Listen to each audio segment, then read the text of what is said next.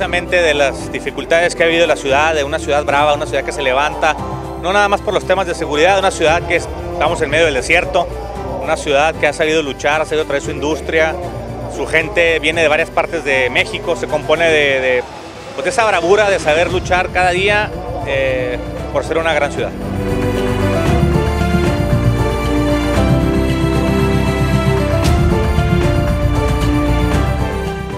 Están invirtiendo mucho al, tema del arraigo, ¿no? Con, con, la afición, con la gente aquí de la ciudad. Entonces creo que eso es muy importante para, para hacer un buen, un buen club, un buen proyecto.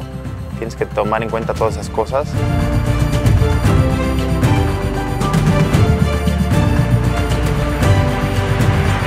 Ahorita vamos invictos, queremos seguir invictos, queremos seguir luchando y es lo que hace la diferencia. La afición de Juárez nos, exige mucho y bueno, estamos trabajando con mucha ilusión para ir logrando día a día, semana en semana, torneo por torneo, el objetivo.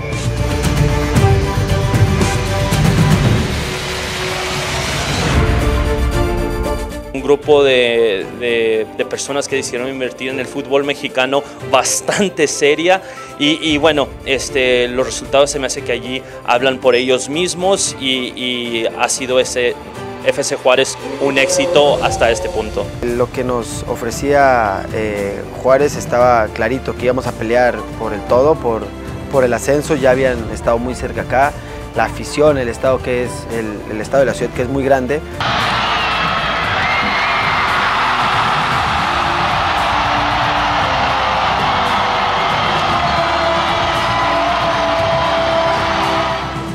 Buen plantel y la, expectativa por parte de la directiva y por parte nuestra está muy, muy alta, pero, pero estamos tranquilos, vamos partido a partido.